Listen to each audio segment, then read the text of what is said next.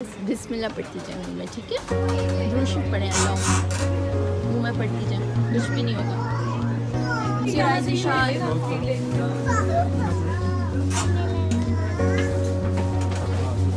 पढ़ती जाऊँ, ऊँची बात में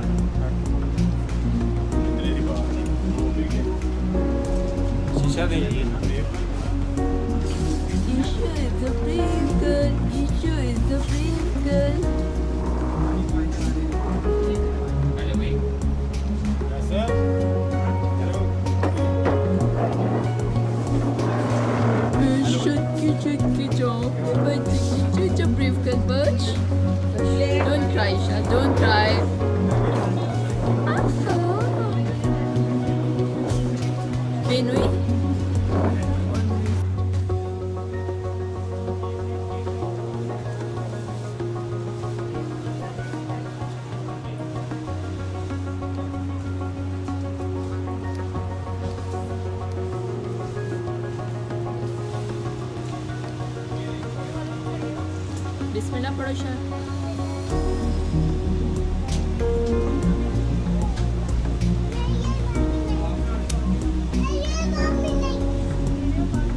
बेटा जी।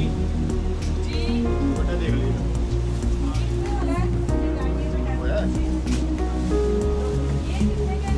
सेवन फिफ्टी है?